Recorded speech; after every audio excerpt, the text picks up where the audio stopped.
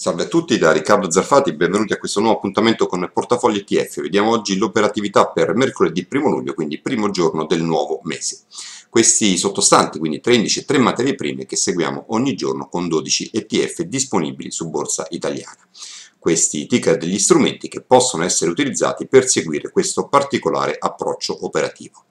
Vediamo subito il tabellone, dati misti in arrivo dalla Germania, un dato positivo, retail sales, quindi vendite al dettaglio, 0,5% rispetto a 0. Europa inflazione come da attese sul mese 0,2%, l'indice PMI di Chicago 49,4, quindi sotto le attese che eh, si attestavano su 50. vedete anche un dato sotto la soglia discriminante dei 50 punti, che sta a indicare quindi contrazione economica. Chiaramente in questa fase, come dico da qualche giorno, i dati macro contano fino a un certo punto perché ovviamente ciò eh, che conta di più è proprio la questione della Grecia. Ricordo che eh, questa notte scade la rata dovuta al Fondo Monetario Internazionale, una rata piuttosto cospicua, ma chiaramente ormai siamo abituati alle sorprese all'ultima ora, come abbiamo visto eh, nel fine settimana con l'istituzione del referendum, quindi eh, è difficile dire che cosa accadrà da domani in poi. Ricordo comunque che anche se dovesse non essere pagata questa rata, partirebbero eh, diciamo, le pratiche del default ma non ci sarebbe un default immediato. Comunque torniamo al tabellone, oggi ancora negatività seppure c'è stato un tentativo di rimbalzo anche in giornata ma vedete il, il, il ribasso per il momento prosegue senza eh, estremi ehm, come dire, senza crolli estremi. Italia meno 0,48%, Germania più debole meno 0,91%, addirittura S&P 500 in questo momento tenta un rimbalzo eh, a metà giornata, più 0,17%. Debole l'oro, rimbalzo del petrolio 1,07% e oggi anche un piccolo ritracciamento del core, per il momento ancora estremamente controllato, meno 0,51%.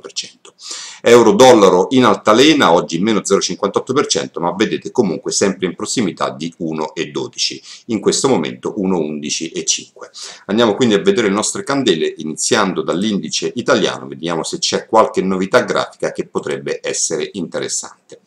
Iniziamo quindi, eccolo qua, ETF MIB, vedete oggi naturalmente dopo il crollo di ieri, ricordo circa meno 5%, questo ulteriore calo disegna un'altra candela rossa. Ora, eh, ovviamente qua c'è um, un decremento, un ritracciamento anche piuttosto violento che sta guidando, però in questa fase, come già accennato ieri, eh, investire sui mercati europei è un po' come giocare alla slot machine, perché si rincorrono le voci, ci sono colpi di scena all'ultimo momento, quindi in, il mio suggerimento in questa fase è tranquillamente restare alla finestra e vedere che cosa succede quando la situazione sarà un po' più chiara per seguire di nuovo dei trend eh, un po' più definiti e che seguono diciamo anche dei requisiti tecnici. In questa fase è impossibile dirlo, chiaramente pesa il ribasso per il momento, quindi il suggerimento è di rimanere in osservazione. Eh, lo stesso vale eh, sulla Germania, vediamo subito il DAX come si sta comportando, vedete siamo di nuovo in prossimità degli importanti supporti dai quali era partito un forte rimbalzo, ma di nuovo in questa fase i valori tecnici, i livelli tecnici contano fino a un certo punto, perché se dovessero le cose andare male, chiaramente o bene potremmo assistere a delle eh, inversioni di fronte parecchio, eh, parecchio violente, in una direzione o nell'altra. Per cui anche eh, osservazione per l'indice tedesco, lo standard pure americano prosegue la sua debolezza di breve, questo è un indice che in questa fase a mio avviso è bene tradare in una direzione o nell'altra perché chiaramente gli Stati Uniti seguono un trend un po' più indipendente rispetto alla uh, vicenda della Grecia. Noi qua abbiamo aperto da qualche giorno una posizione short, per il momento sta andando bene, vedete oggi un altro 0,96% di incremento eh, e porta il guadagno della nostra posizione a 2,9%. Per il momento l'RSI non preoccupa, qua siamo usciti dalla zona chiaramente di ipervenduto, ci stiamo dirigendo verso l'ipercomprato, ma chiaramente finché non abbiamo un pattern grafico preoccupante, che al momento non c'è, proviamo a mantenere la posizione. Naturalmente nulla da segnalare sull'oro, vedete rimaniamo sullo stesso livello di prezzi ormai da altre due settimane, qua siamo eh, la chiusura oggi di 89,76, chiaramente in questa fase sta ancora guidando ehm, una dinamica laterale ribassista che per il momento a mio avviso è poco interessante anche eh, per andare short, visto che chiaramente è una dinamica eh, piuttosto, piuttosto lenta con scarse variazioni di prezzo.